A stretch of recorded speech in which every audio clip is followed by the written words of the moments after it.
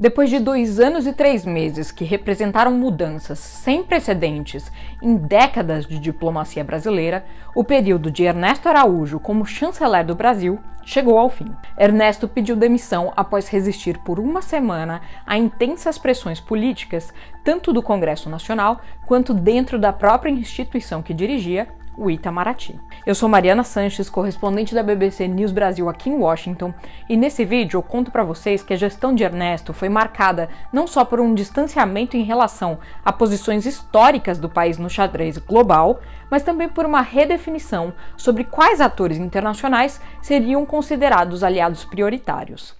Na visão de mais de uma dezena de embaixadores e diplomatas com quem eu conversei ao longo dos últimos meses, Ernesto subordinou a agenda das relações internacionais às pautas ideológicas caras ao eleitorado de Jair Bolsonaro, o que acarretou, em última instância, em custos ao país que culminaram com sua saída. Há, no entanto, amplo ceticismo no Ministério das Relações Exteriores sobre o real impacto da saída de Ernesto no futuro das relações diplomáticas brasileiras. Discípulo do escritor Olavo de Carvalho, Ernesto tinha relação simbiótica com um dos filhos do presidente, o deputado federal Eduardo Bolsonaro, considerado extremamente influente na definição da atual postura internacional do Brasil. Para muitos embaixadores e analistas, Ernesto seria o mensageiro das ideias que, no limite, provinham do próprio Palácio do Planalto e não o formulador do que seria a diplomacia bolsonarista. Mas afinal, o que foi a gestão Ernesto Araújo? Histórica aliada de países em desenvolvimento e de organismos multilaterais como a Organização Mundial da Saúde e a Organização das Nações Unidas, a diplomacia brasileira sob Ernesto passou a atacar esses instrumentos, que, segundo o chanceler, seriam uma face do que ele chamava de globalismo, uma espécie de estágio preparatório para o comunismo, em oposição ao nacionalismo que ele prezava. Saíram de cena cooperações estreitas com os vizinhos do Mercosul, com países africanos ou mesmo com o bloco dos emergentes BRICS, composto por Brasil, Rússia, Índia, China e África do Sul, e entraram em jogo alinhamentos aos posicionamentos dos Estados Unidos, sob o comando do então presidente republicano Donald Trump, e Israel, sob a batuta do primeiro-ministro Benjamin Netanyahu. Ambos são expoentes de uma direita conservadora e populista com a qual o governo Bolsonaro se empenhou em estreitar laços.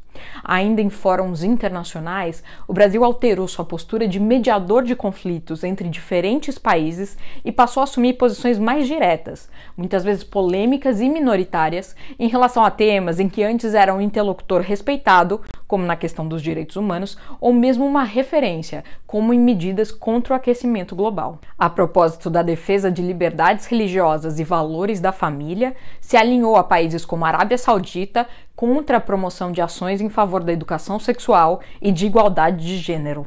Os diplomatas brasileiros foram orientados a substituir o termo gênero por sexo em suas manifestações, o que seria uma forma de combater a chamada ideologia de gênero. Nos Estados Unidos, Ernesto afirmou em mais de uma ocasião que as mudanças climáticas eram, na verdade, alarmismo para retirar a soberania do Brasil sobre a Amazônia, enquanto repercutiam no mundo as notícias de queimadas e desmatamento nos biomas brasileiros brasileiros.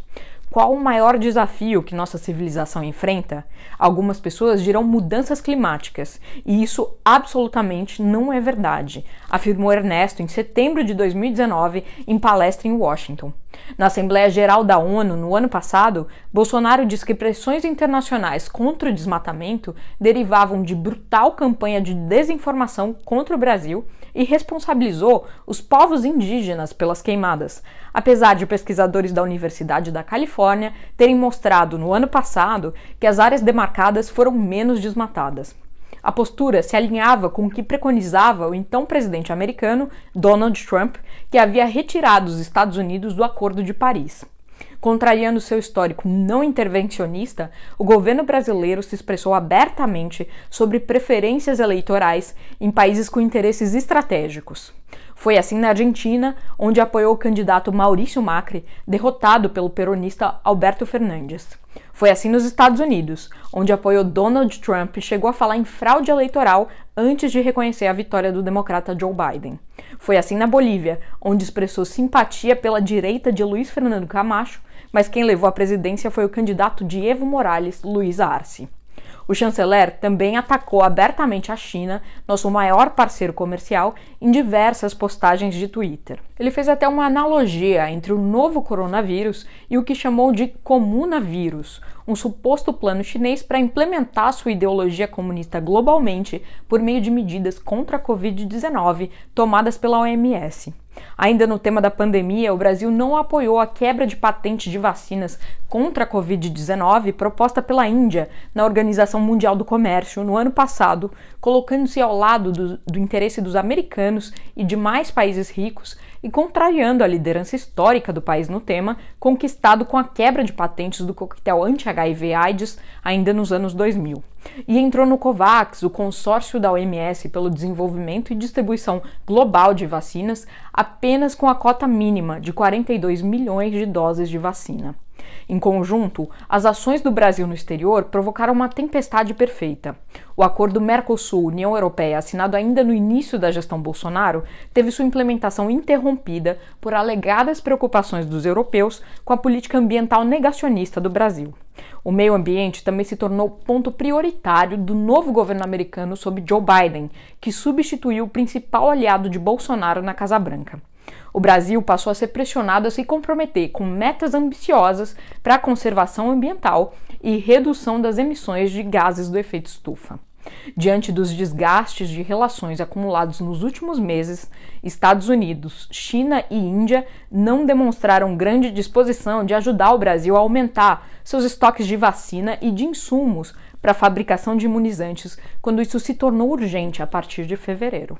Tanto no caso da China quanto da Índia, houve atrasos e dificuldade na importação de doses e insumos. Já os Estados Unidos anunciaram que liberariam 4 milhões de doses do imunizante AstraZeneca Oxford, hoje sem uso no país, para México e Canadá, mas não se posicionaram ainda pela venda de vacinas ao Brasil, apesar da recomendação para tal de parte da comunidade científica do país. E a crise sanitária da Covid se tornou também uma crise de imagem para o país, até então uma referência em saúde pública, graças ao Sistema Único de Saúde. No último fim de semana, os três mais importantes jornais dos Estados Unidos publicaram reportagens sobre o que chamaram de colapso previsível do Brasil. No domingo, o chefe da consultoria Eurasia Group, Ian Bremer, destacou em suas redes sociais que um em cada três mortes por Covid-19 no último sábado estava no Brasil. Pior gestão da epidemia, de longe, em qualquer grande economia, escreveu Bremer. É nesse contexto que a condição de Ernesto Araújo, considerada insustentável há meses dentro do Itamaraty, chegou ao limite. A base do governo no Congresso concluiu que a política do Planalto em relação à pandemia era um equívoco e poderia custar caro às suas pretensões eleitorais futuras. Por isso, passou a pressionar pela saída dos auxiliares de Bolsonaro, que representavam a fonte do que o presidente da Câmara, Arthur Lira, qualificou como erros primários de gestão.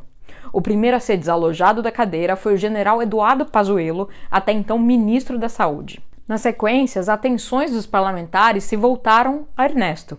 Rodrigo Pacheco, presidente do Senado, disse o seguinte: Nós tivemos muitos erros no enfrentamento dessa pandemia e um deles foi o não estabelecimento de uma relação diplomática de produtividade com diversos países que poderiam ser colaboradores nesse momento agudo de crise que temos no Brasil. Então ainda está em tempo de mudar para poder salvar vidas. A declaração foi feita um dia depois de Ernesto ter falhado em explicar suas ações no combate à pandemia no Senado. Mais de 10 senadores pediram abertamente que ele se demitisse, em uma situação considerada no Itamaraty como de humilhação sem precedentes para um chanceler. Na mesma sessão em que Ernesto chegou a ser chamado de office boy de luxo, Felipe Martins, assessor internacional da presidência, com grande ascendência sobre o chanceler, fez um gesto considerado obsceno e racista aos senadores. Depois do episódio, a saída de Ernesto do posto passou a ser considerada apenas uma questão de tempo. Entre senadores, a percepção era de que Bolsonaro tentaria mantê-lo ainda por mais alguns dias, para não admitir fraqueza diante do Congresso e para viabilizar uma saída honrosa para um de seus ministros preferidos. Diante da incerteza, um grupo de 300 diplomatas do Itamaraty fez circular uma carta crítica a Ernesto, iniciativa considerada inédita pelo tom e pelo tamanho da mobilização em um órgão de servidores disciplinados e respeitosos da hierarquia. A carta, revelada pelo jornal Folha de São Paulo, dizia o seguinte: nos últimos dois anos, avolumaram-se exemplos de condutas incompatíveis com os princípios constitucionais e até mesmo os códigos mais elementares da prática diplomática. O Itamaraty enfrenta aguda crise orçamentária e uma série numerosa de incidentes diplomáticos, com graves prejuízos para as relações internacionais e a imagem do Brasil. A comunicação expunha que Ernesto já não contava com apoio consistente dentro do órgão que dirigia e não só por questões ideológicas.